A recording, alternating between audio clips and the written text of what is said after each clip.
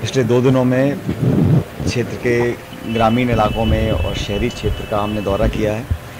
आज दुर्भाग्यवश हमारे जो पूर्व कांग्रेस पार्टी के ब्लॉक अध्यक्ष थे उनका देहांत हो गया। तो इस वजह से आज के सुबह के कार्यक्रम मैंने स्थगित किए हैं उनकी अंत्येष्टि में हम लोग अभी भाग लेकर आए हैं। बड़ा दुर्भाग्यपूर्ण रहा उनका जाना। आ, लेकिन जहाँ तक चुनाव अभियान की बात है आ, बहुत अच्छा अभियान चल रहा है और जो रिस्पांस लोगों का मुझे मिल रहा है मतदाताओं का कार्यकर्ताओं का वो बड़ा उत्साहित है। और आ, मैं ऐसा मानता हूँ कि लगातार कांग्रेस का ग्राफ बढ़ रहा है और जिस उम्मीद से हम चुनाव लड़ रहे थे उससे ज़्यादा बहुमत लेकर हम लोग निकलेंगे ऐसा मैं मानता हूँ।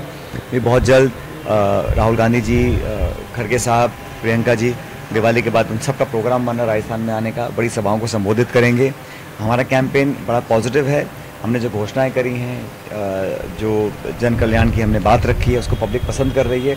और कैंडिडेट्स का, जो कांग्रेस के कैंडिडेट्स हैं, उनके प्रचार में लगातार भीड़ आ रही है। आपने देखा होगा नामांकन के दिन जिस जन सैलाब का अटेंडेंस वहाँ दिखी कांग्रेस के नॉमिनेशन में, वो इस बात को दिखलाता है कि मैंडेट कांग्रेस पार्टी को मिलने जा रहा है। और ये चुनाव लड़ा जा रहा है डेवलपमेंट के नाम पर। बीजेपी ने कई बार कोशिश की है इसको डाइवर्ट करने की। कुछ ऐसे मुद्दे उठाना चाहते हैं, जो जज्बाती मुद्दे हैं, जो ध्यान भटकाने वाले मुद्दे हैं।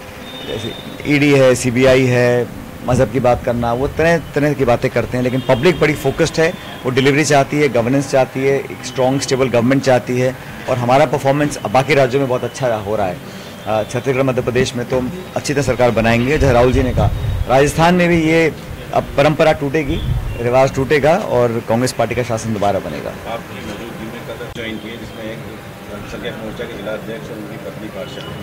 बहुत सारे लोग ऐसे हैं जो जुड़ना चाह रहे हैं पार्षद, पूर्व पार्षद, पदाधिकारी अलग अलग लोग, क्योंकि लोग समझ रहे हैं कि आने वाला भविष्य कांग्रेस पार्टी का राजस्थान के अंदर और जो मान सम्मान हम लोग संगठन में देते हैं, शायद दूसरा दल नहीं दे पा रहा है, इसलिए मैंने बड़े खुले मन से कल रात को इन सबका स्वागत किया। और भी ऐसे लोग हैं जो जुड़ना चाहते हैं, आने वाले समय में उनका भी हम आगमन करवाएँगे कांग्रेस पार्टी के परिवार में।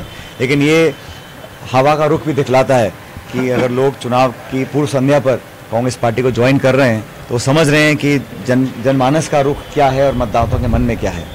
आपने राजनीतिक जीवन में जो पहली बार जो है अब घर घर जा रहे हैं आप एक दर्जन से अधिक लोगों के घर गए कोई खास रणनीति है इसको लेकर? देखिए चुनाव में जो दो तीन दिन का हम टोंक में लगाया है आ, मैं समझता हूँ कि चुनाव चुनाव होता है और कभी भी किसी भी उम्मीदवार को अति आश्वस्त नहीं होना चाहिए और पब्लिक एक्सपेक्ट भी करती है।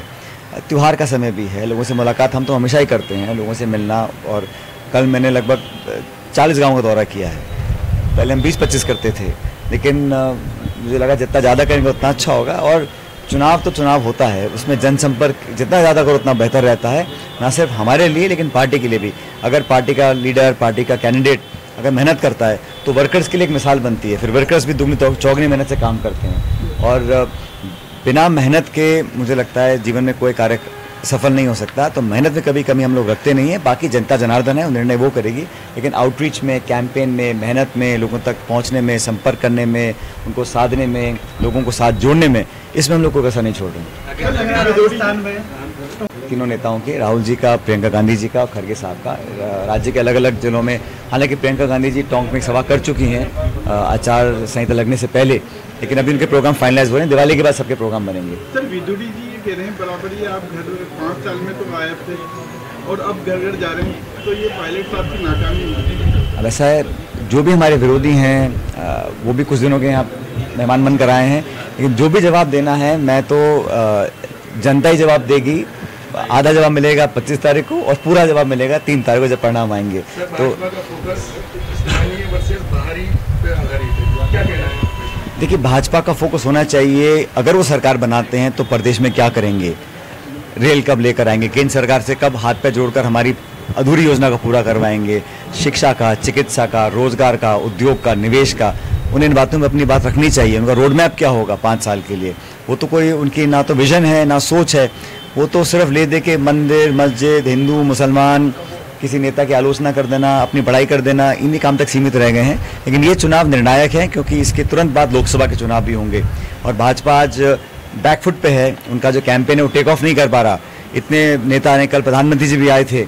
लेकिन कोई सभाओं में को बहुत ज़्यादा उससे बदलाव आएगा लोगों के सोच में मुझे ऐसा लगता नहीं है।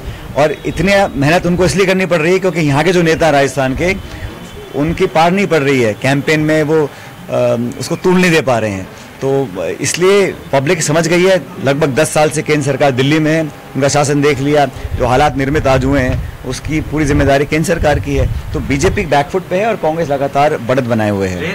आपकी कांग्रेस की अधूरी योजना हमारी सरकार के कार्यकाल में उसका बजट आवंटन उसका सर्वे उसकी घोषणा लोकसभा के सदन के पटन पर जब सरकार ने कर दिया और सरकार हमारी इसके बाद चली गई तो फिर अधूरी रह गई ना तो नौ साल से। सांसद कहते हैं कि जो है रेल वो सांसद वो सांसद थे नहीं जिस समय योजना बनी थी उनको जानकारी नहीं उस टाइम वो हरियाणा में थे। हुआ आधे बजट की बात मनमोहन सिंह जी प्रधानमंत्री थे रेल मंत्री जी ने बजट में घोषणा करके इसको सैंक्शन किया था।